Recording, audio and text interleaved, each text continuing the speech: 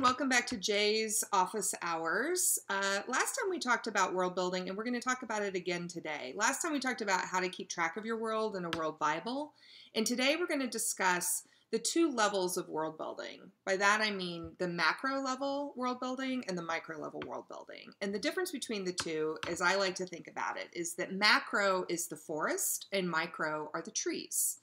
Um, macro world building is um, the big picture culture and geography and um, customs of the world that you're creating. Um, and these really drive all of the micro level choices that you're going to make. But I like to think about it with the macro as if I'm going to uh, take a vacation to a place I've never been before. There are certain things I need to know going in. I need to know what the geography of the towns I want to visit is like. I want to know what the major laws there are that might affect me while I'm there. I want to know what the people are like. What are the what are the different um, races and cultures that I can expect to uh, be around? I want to know what languages they speak. I want to know what customs are um, important to know going in. Um, things like you know, if you go to certain countries, um, customs that we have in the US, for example, are considered offensive in other countries. So you'd want to know those before you go in. Uh, you want to know what kind of currency they use. You want to know what kind of food they eat. Um, sort of like if you were looking at a big picture guidebook of the place you want to visit, what are the things you would be looking for? Those are the decisions you need to make for your macro level world building. And I tend to make those before I sit down to write a word. Um, I'm not a plotter, I'm a world builder pretty much. And so that's my pre work on a book is figuring out what is this world. And the reason you want to know the big picture is because the characters that you're writing about need to be a product of the world you create. And so, if you're going to write somebody who's a product of the world, you need to know the forces that are molding them or the forces that they're rebelling against, these big picture things, including what they consider sacred and what they consider profane.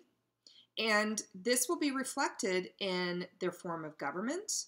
Are they a democracy, a theocracy, something else? Are they matriarchal or patriarchal or something in between? Um, their code of law, their cultural norms, what kind of holidays they celebrate, what kind of religions uh, people um, practice.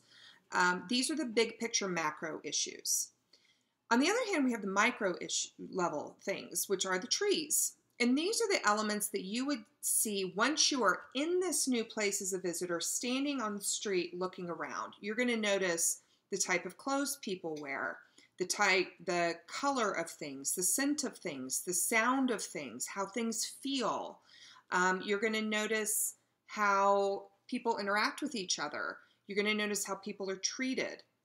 You might notice more about the um, distinctions between the classes on the ground that you may not read about in literature before you go. Does that make sense? So, the idea is that on the macro level, it's the stuff you're going to see when you're in the story. And a lot of that actually comes out while you're writing the story. But the important thing to remember is that the macro level details must always buttress or reflect in some way the larger picture of the world that you created.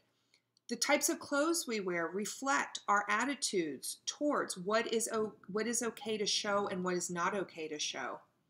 Right? The emblems that we wear, the type of like I wear a wedding ring and that's a reflection of our culture and it says something about my status in society as a wife and that has meaning. So you need to think when you're adding these details in, what does it say about the larger picture of the culture? And that includes the type of language people use, the types of what do they say when they hit their nail, their um, their hammer. Sorry, back up. What do they say when they hit their thumb with a hammer? What do they say um, when they love someone? You have to think about it at that level of detail. And the way that people put those phrases together says something about what they find important in the world. And so you really have to think that complexly about the world building choices that you make. Um, I know that that is a lot of work. I've done it many times. I've created lots of worlds. It can also be very fun work. Um, and I think that if you approach it from that level, you will um, do a lot of, you will accomplish a lot if you think about it in those ways micro, macro, macro, micro, forest trees. Think about it like a tourist first, and then think about it what it's if you're on the ground in this in the country or the planet. Also remember that worlds can be macro and micro. A macro world would be an entire alien planet. A micro world can be as small as a marriage or a friendship and the customs and rules inherent in those relationships. So think about it on both levels. I hope that's helpful to you. I hope that you enjoy world building if you're working on a new new project. And as always, if you have questions, please leave it in comments and check out www.jayewells.com for more information about my books and more craft articles. Thanks and happy writing.